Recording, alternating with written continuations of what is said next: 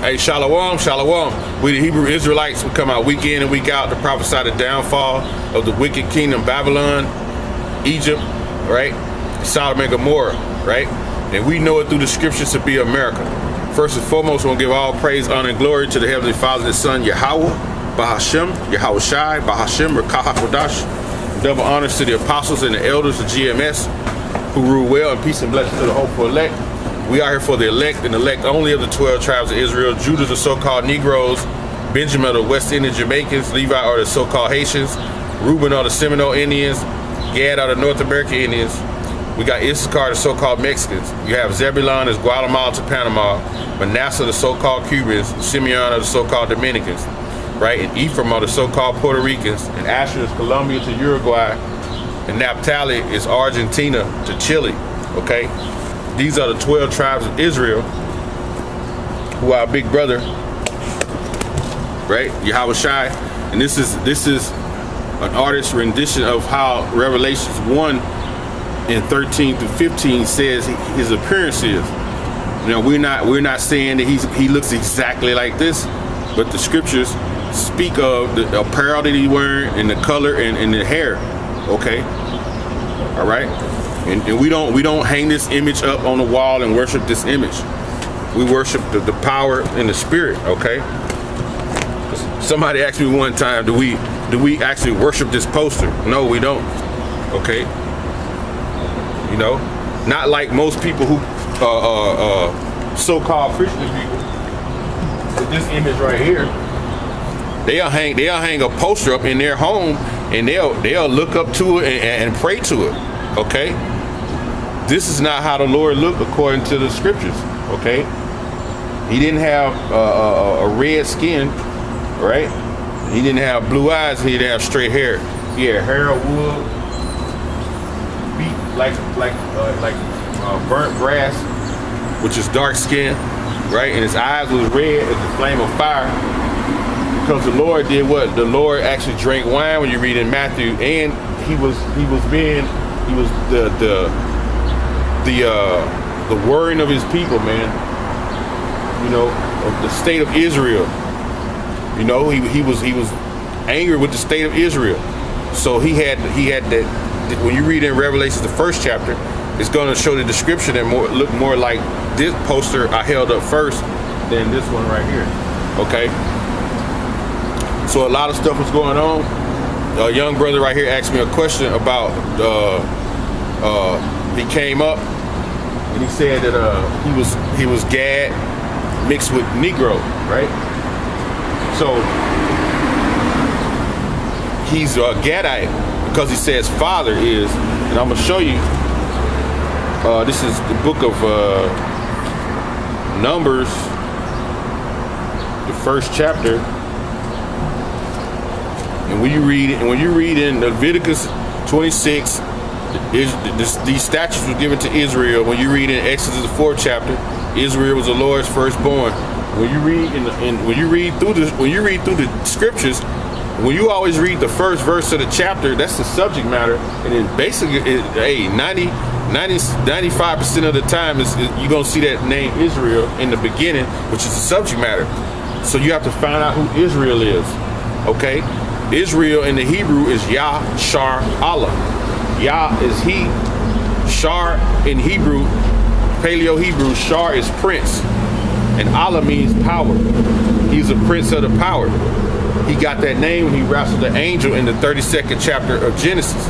Okay? So his children would be uh, Israel, since his name was changed to Israel, if he had children, their name would be Israelites just like my father had a last name, and when I was born, I took on what his last name, just like this brother here. You know, we're supposed to take on the name of our father. Now you have a lot of our people in our nation. They don't have the name of their fathers. They, the, the mother and the father is separated, and the mother give the, the child her name or whatever. So that that that even though you're living through your seed line, that name won't live on because you sometimes you give uh, kids the name of some other man, man. You know? Case in point, I got kids like that. My kids don't even have my last name. You know? But bet you it was a big stink about whether it was my kids or not. You gotta go through courts. But then in the same sense, they only have my name. They got another man last name. So you know, so that's what it be. So when you read in the book of Numbers, okay, the first verse, I'm gonna show you the subject matter. And the Lord spake unto Moses in the wilderness of Sinai, in the tabernacles of the congregation of the first day of the second month in the second year, they come out of the land of Egypt. So who came out of the land of Egypt? The Israelites. That whole part of the Red Sea, the sea opening up, those were Israelites going down in there. Because when you go back into Exodus, the first chapter, it'll tell you that the Israelites came to Egypt uh, uh, with, with uh, Jacob. 70 souls came into Egypt out of out of the land of Israel, which was called Canaan back then. So you read these subject matters, it's always dealing with Israel. This this is our book, right? This book was for the Israelites and no other nation. You have to like, you could have uh, what they call we call changing the faces. All right, if your father's an Israelite, okay, and he go sleep with a woman of a another nation, he could sleep with a, a Japanese, he could sleep with a uh, so-called white woman, he could sleep with a, a, a, Arab, a, Ishmaelite, which is Ishmael. He could sleep with a Japanese. Guess what? The baby's gonna be an Israelite. Now, when you flip it, if a, if a man of another nation sleeps with one of our women, you're bringing on the seed from another nation. But that seed from another nation is growing into you. So that baby will be of another nation, even though it might look like us. Case in point, when you read it, Herod, Herod, Herod them, Herod's uh, uh, father, he had black women. So he came out looking like you would look if you ever seen a, a, a, a what you call what we say mix, just for mix means Arab. So we just say it for the understanding that the people know here. You know how it looks when a white man sleeps with a black chick. Then you when a black man sleeps with a white girl, you could put those two mixed kids together. You could see some kind of difference in them. Okay. All right. So I'm gonna read this. This is Numbers one and 18. It says, and they assemble all the congregation together on the first day of the second month and they declared their pedigrees after their families. And their pedigree is your bloodline, right? If you ever been into people who fight dogs or whatever, they'll say, "What's the pedigree?" They want to know that bloodline of that dog to see if he's a grand champion or not. So the scriptures is saying he declared their pedigrees after the families. Why? Because it was so many of us came over. Everybody was all mixed in. They didn't know who was who. Like, hey, okay, wait a minute. We got to get this order going okay? And it says, by the house of their fathers. So they figure out who your father. Uh, I'm, I'm such and such. You know, of the tribe of this son of this person, the tribe of this person. And that's how they knew. So your, your, your pedigree goes through the house of your father because a man has what's called sperm.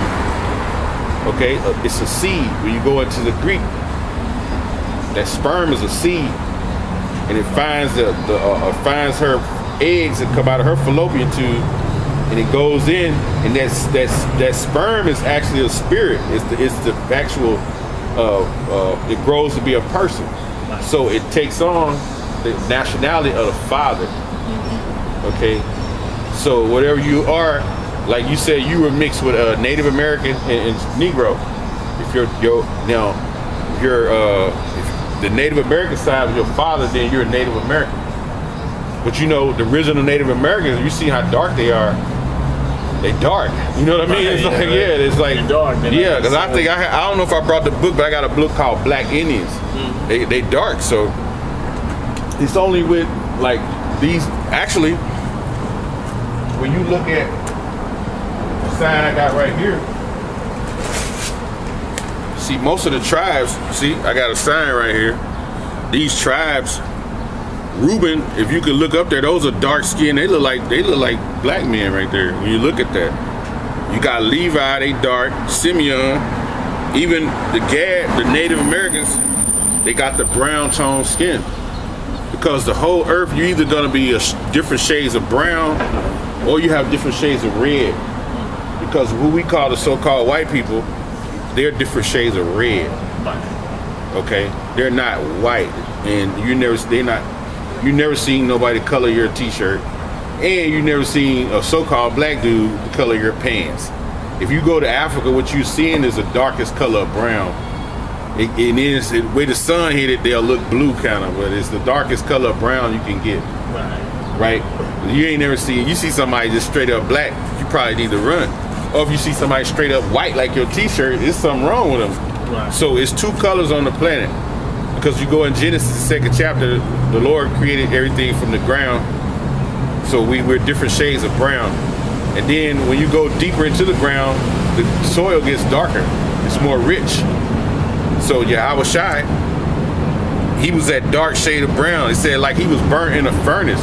So if you burn some wood in a furnace, it's gonna look dark when it's when you cooled it down.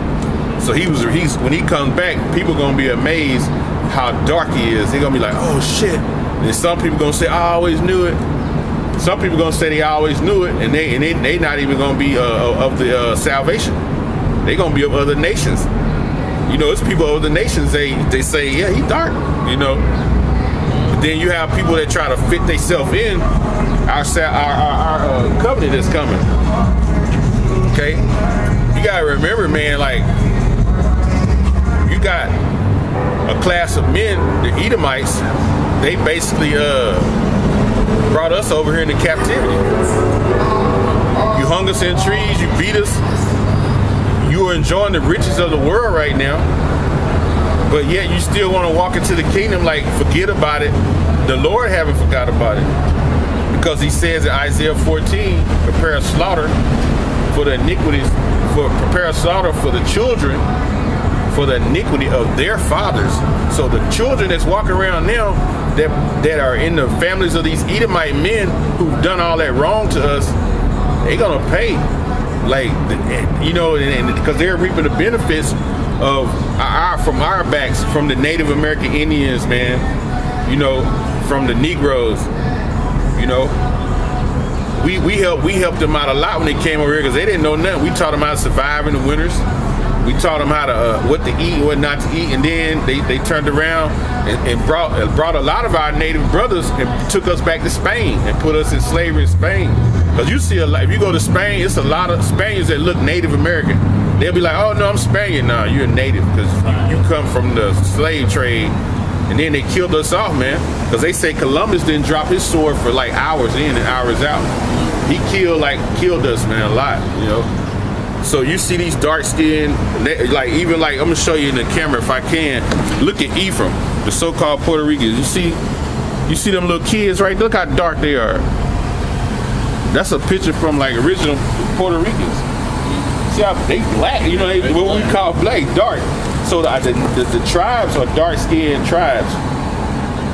Now where you get, you see the Puerto, you see them, them, them Puerto Ricans right there, how they look all light skinned where you get that at, and then you got natives who look like that as well, and you got some so-called Mexicans who are Issachar, they look like that as well. Where you get that at is because you had the conquistadors. The white Spaniards came over here, and basically when they were conquering, you basically they they, they basically uh they they mixed with the women. Okay, so that's where you have that the what the, what the Israelites start looking more like. And then if they had a son, the son can pass on the sperm. So that means if he if he go with another black so-called black girl, dark skinned girl, and have a kid, the baby gonna come out probably looking more dark, more like you. Then if he go with another dark skinned woman, it's gonna look more like me, and it'll keep going to it'll look dark, but it'll be a, a, a so-called another nation. Right. See, long as it's a boy, and, they, and, they, and you know, because I have a, uh, I have a stepson. His father is, uh, you know, we say Jake, we say Jacob's kids. He, he, he a Negro, right? But he he has a uh, he has a uh, his his wife is a, a, a white so-called white girl, straight up. So they had a baby. The baby got like blue eyes and like kind of straight hair, no curly hair. But that baby is an Israelite. It's of our nation because it come out of him. So now I'm gonna show you this one in Matthew Uh, let's see here. Matthew is it 13? Matthew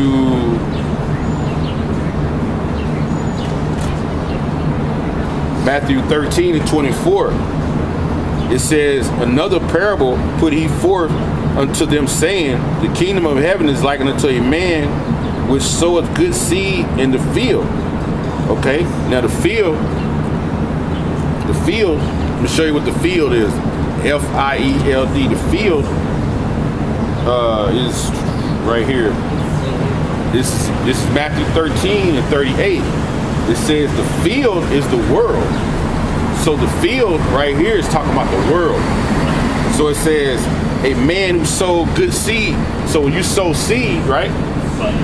Because when you read in the scriptures, it, it likens us to, to a husband, a husband, a husband, which means a farmer.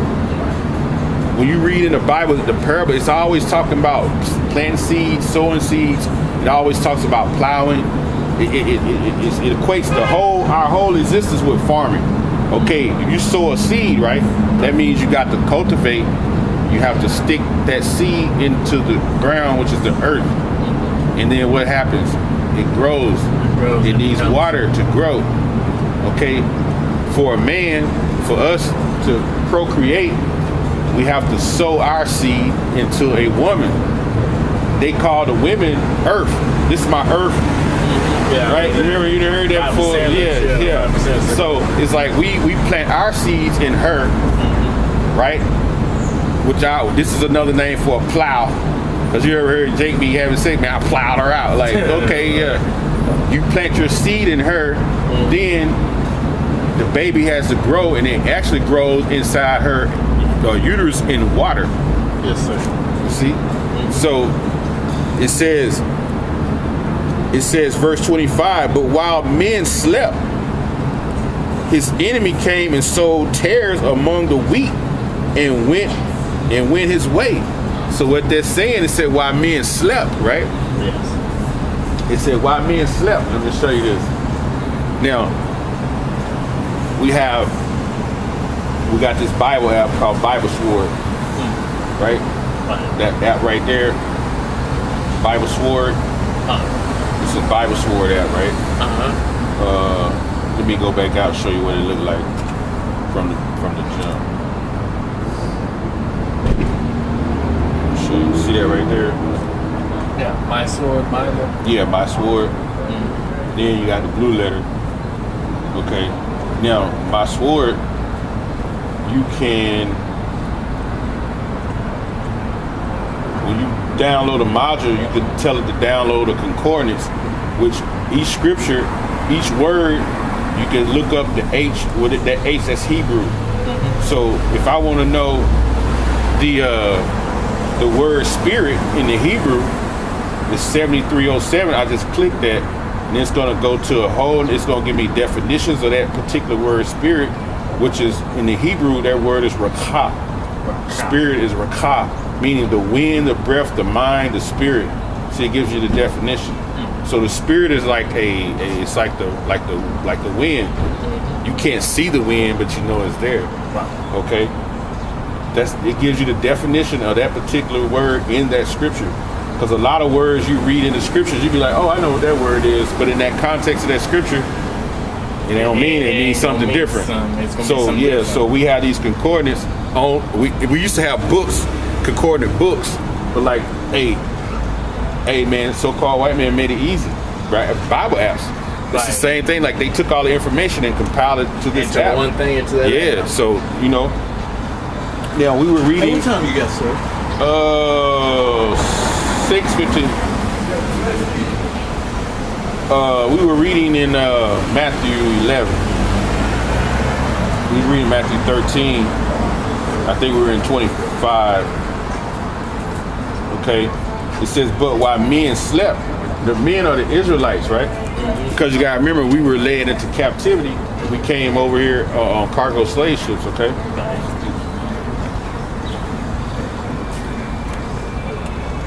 Now, it says that particular word is It's, it's Matthew now in the in the New Testament is Greek. The Old Testament is Hebrew, New Testament is Greek. So when you go to the New Testament, you're gonna see G that's meaning Greek. So that Greek word is kath, kath, that's that Greek word for the word slept. To fall asleep, to drop off to sleep, uh, em- em- emphatically to be dead, metaphorically to yield to sloth and to sin, to be indifferent to one's salvation, to fall asleep, figuratively to be asleep. So they were sleeping mentally. They, they they not only not only sleeping, sleeping, but not knowing who they. They, they not knowing that that dude was straight up their enemy. He didn't mean them no good in the time of slavery. Because a lot of times when the man would go get off work, he'd be in work all day, he'd be tired, he'd go home, and then they would tell what, hey, tell your wife to come over here. And they sleep with her. The scripture saying while they slept, he went in there and he sold his seed into one of the like the uh, slave women. Okay? It says, but while men slept, this enemy came in and sowed tares among among the wheat. See, the wheat are the Israelites. Okay, when you have a field, see how you see how I made the analogy of a field again. right, yeah. When you got wheat, when you have the the, the, the, the weeds that grow in there, Mm-hmm. you got to like separate it because it'll actually choke out the, the good wheat and it'll kill it. So Right. when plants are growing, you notice how people always going pulling grass out. Right, they don't want the grass out. Yeah, so that's what it's saying right there. He went in there, he sold in the good feet, in the good, the Israelites, the, the good. He put a baby in the women, right? And left them pregnant, right? So, and it says, and you got to remember, we read that the seed is from the man, okay? And it says, then he went his way. They did it in the time of slavery. They'd be like, hey, tell your wife to come over here. And they would sleep with her. Then after he sleep with her, he go on back in his house, have his little uh, high dollar scotch, smoke his cigar, cross his legs, you know. And then a lot of times that, that old master would fall in love with certain women. A lot of times they would have, like you see like a light